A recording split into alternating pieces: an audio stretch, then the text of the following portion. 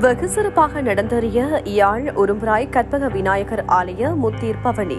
நூற்று இருபத்து ஐந்து ஆண்டுகள் பழமை வாய்ந்த யாழ் உரும்புராய் ஓடியம்பதி கற்பக விநாயகர் ஆலய வருடாந்த மகோற்சவ பெருந்திருவிழாவின் முத்தீர் பவனி நேற்று இரண்டாம் திகதி ஞாயிற்றுக்கிழமை காலை பெருமளவு அடியவர்களின் பங்கு பெற்றுதலுடன் பக்திபூர்வமாகவும் வெகு சிறப்பாகவும் இடம்பெற்றது.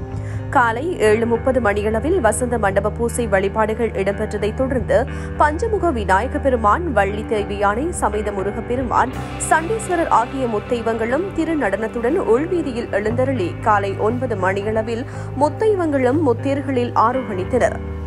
சேந்தனார் அருளிய திருப்பல்லாண்டு ஓதப்பட்டு சிதர் தேங்காய்கள் உடைக்கப்பட்டதைத் தொடர்ந்து அடியவர்களின் அரோகரா கோஷம் முழங்க முத்தீர் பவனி ஆரம்பமானது. ஆண் அடியவர்களும் பெண் அடியவர்களும் இணைந்து வடம் தொட்டெழுத்தனர்.